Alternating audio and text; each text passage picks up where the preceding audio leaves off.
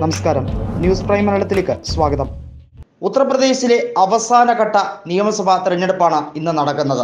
തുടക്കം തന്നെ കനത്ത പോളിംഗുമായി മുന്നോട്ടു പോകുന്ന ഈ ഏഴാം ഘട്ടത്തിൽ അൻപത്തി നാല് സീറ്റുകളുടെ വിധിയെഴുത്താണ് നടക്കുന്നത്. ഇതിൽ ഏറ്റവും സുപ്രധാനം ഗോരഖ്പൂർ തന്നെയാണ്. ഗോരഖ്പൂരിൽ മുഖ്യമന്ത്രിയായ യോഗി ആദിത്യനാഥ് മത്സരിക്കുന്നു. ഗോരഖ്പൂർ അർബനിൽ മത്സരിക്കുമ്പോൾ അദ്ദേഹം ആദ്യമായി നിയമസഭാ തെരഞ്ഞെടുപ്പിനെ നേരിടുന്നു എന്നുള്ള ഒരു കാര്യം കൂടി വ്യക്തമാണ്. അദ്ദേഹം ആയിരത്തി തൊള്ളായിരത്തി തൊണ്ണൂറ്റി എട്ട് മുതൽ ഗോരഖ്പൂർ ലോക്സഭാ മണ്ഡലത്തിൽ എം പി ആയിരുന്ന വ്യക്തിയാണ്. രണ്ടായിരത്തി പതിനേഴിലെ ബി ജെ പിയുടെ ഐതിഹാസിക വിജയത്തിനു ശേഷമാണ് അപ്രതീക്ഷിതമായി യോഗിയെ മുഖ്യമന്ത്രി സ്ഥാനത്തേക്ക് പ്രഖ്യാപിച്ചത്. ഹിന്ദുത്വവാദം അതിശക്തമായി ഉയർത്തുന്ന യോഗി ആദിത്യനാഥും അതിനെതിരെയുള്ള ഒരു വലിയ പോരാട്ടവും. ഇതാണ് ഗോരഖ്പൂർ സാക്ഷ്യം വഹിക്കുക. ഇന്നേ വരെ കണ്ടിട്ടില്ലാത്ത ഒരു പൊടി പാറുന്ന മത്സരം.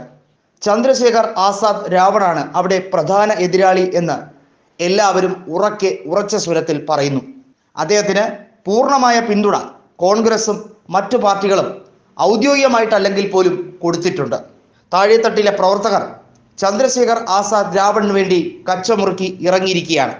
മായാവതിയുടെ ബി എന്ന ദളിത് ശക്തി തെളിയിക്കുന്ന പാർട്ടിയും അതോടൊപ്പം തന്നെ മറ്റ് മതേതര പാർട്ടികളുമൊന്നും അതിശക്തമായി ദളിതർക്ക് വേണ്ടി ശബ്ദമുയർത്താത്തതിന്റെ കുറവ്.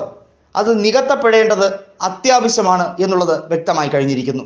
അതിന് ചന്ദ്രശേഖർ ആസാദ് രാവൺ ഒരു വലിയ കാരണമായി തീർന്നിരിക്കുന്നു. നമുക്കറിയാം പൗരത്വ നിയമ ഭേദഗതി സമയത്തും ആ സമയത്ത് കൃത്യമായി പ്രിയങ്ക ഗാന്ധി ചന്ദ്രശേഖർ ആസാദ് രാവണിന് വേണ്ടി വാദിച്ചതും അതിന് അദ്ദേഹം നന്ദി പറഞ്ഞതുമൊക്കെ എടുത്തു പറയേണ്ട കാര്യം തന്നെയാണ്.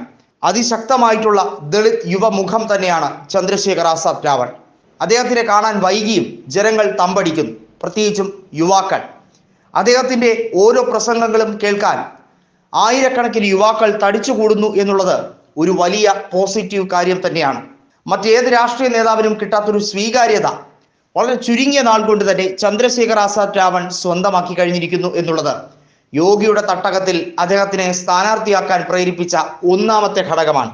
യോഗിക്കെതിരെ ചന്ദ്രശേഖർ ആസാദ് രാവൺ മത്സരിക്കുമ്പോൾ എത്ര വോട്ട് കിട്ടും എത്രയായിരിക്കും അദ്ദേഹത്തിന്റെ സ്ട്രൈക്ക് റേറ്റ് എന്നുള്ളതൊന്നുമല്ല ഇവിടുത്തെ വിഷയം.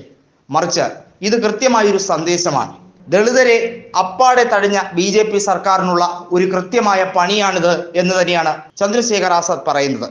രാഷ്ട്രീയത്തിൽ മാത്രമല്ല സംഘടനാപരമായും അതോടൊപ്പം തന്നെ സേവനപരമായും നടത്തുന്ന ഒരുപാട് കാര്യങ്ങൾ ഭീമാർമിയുടെ ഭാഗത്തു നിന്നും ഉണ്ട്. അംബേദ്കർ ഐഡിയോളജി തച്ചുടയ്ക്കപ്പെടുന്ന ഈ വർത്തമാനകാലത്തിൽ ഒരു നേതാവ് ഉദയം ചെയ്തത് ബി ജെ പിക്ക് കിട്ടാവുന്ന ഏറ്റവും മാരകമായ അടിയായി തന്നെയാണ് കണക്കാക്കപ്പെടുന്നത്. രണ്ട് പ്രധാനപ്പെട്ട കാര്യങ്ങളിലാണ് ചന്ദ്രശേഖർ ആസാദ് രാവൺ അദ്ദേഹത്തിന്റെ രാഷ്ട്രീയ നിഗമനം വ്യക്തമാക്കിയിരിക്കുന്നത്. ഒന്ന് ബി ജെ പിയുടെ ഭരണ തുടർച്ചയെ എതിർക്കാൻ ആവുന്നത്ര ഞങ്ങൾ ചെയ്യും. സമാജ്വാദി പാർട്ടിയോട് ഞങ്ങൾക്ക് മുഷിച്ചിലൊന്നുമില്ല.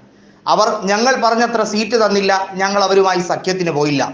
എന്നു കരുതി കുതുകാൽ വെട്ടുകയോ പരസ്പരം പഴി പറയുകയോ ഒന്നുമല്ല ഈ നിമിഷം വേണ്ടത്.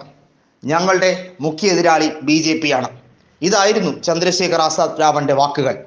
അത് കാതോർത്ത് തന്നെയാണ് അവിടുത്തെ ജനങ്ങൾ കൃത്യമായി പ്രതികരിക്കുന്നതും.